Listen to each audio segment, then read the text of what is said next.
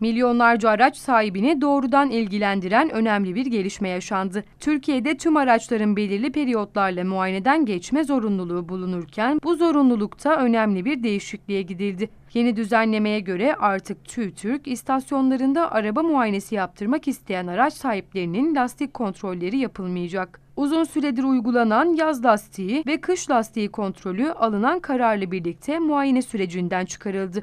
Bu doğrultuda periyodik muayene için lastik dış derinliğinin en az 1,6 mm olması gerektiği, yola elverişlilik muayenesindense alt sınırın 2 mm olduğu ifade edildi.